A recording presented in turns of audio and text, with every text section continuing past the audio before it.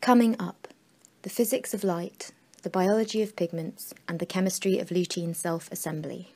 Electromagnetic radiation is a form of energy.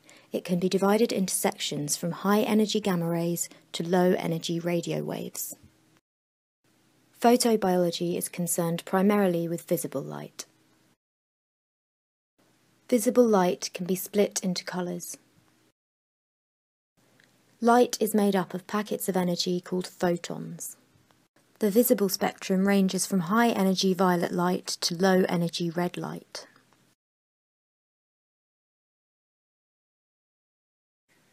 Lutein is a biological pigment. It absorbs high energy blue light and reflects the rest, making it appear yellow. Lutein is found in plants. Reflected photons interact with receptors in our eyes and produce a coloured image. Chlorophyll is the main light harvesting pigment in plants.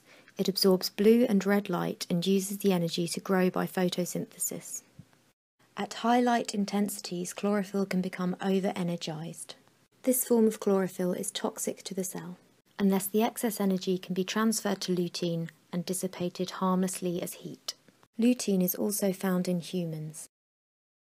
Lutein is found at high concentrations in the macula, a dense spot of photoreceptor cells at the back of the eye. Like plant cells, photoreceptor cells can be damaged by high energy blue light. Lutein acts like a filter, stopping blue light reaching the photoreceptor cells.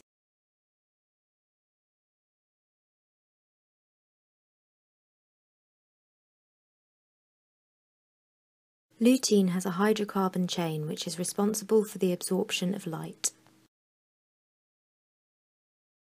The hydrocarbon chain does not interact well with water as it is hydrophobic. In the presence of water, hydrophobic molecules stick together to maximize interactions between the hydrophobic regions and minimize interaction with water. This is called the hydrophobic effect. In hydrocarbon solvents, lutein molecules do not interact. As water is added, they begin to associate and stop absorbing blue light. With more water, larger aggregates are formed which absorb ultraviolet light and have a helical structure.